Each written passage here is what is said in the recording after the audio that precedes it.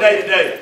Work day to day. We gotta have a sense of urgency. We gotta have attention to detail. Right when we go out there from the walkthroughs, we gotta do some work done. Practice makes permanent. However you practice it, in your endo, to group, to team, practice makes permanent. What you do today matters. And we gotta go out there, we gotta have some energy.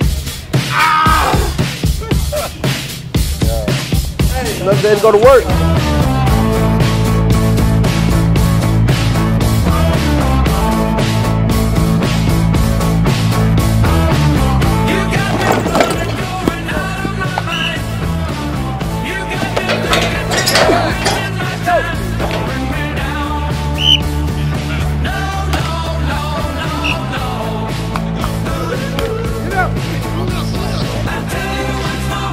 Get up, get up.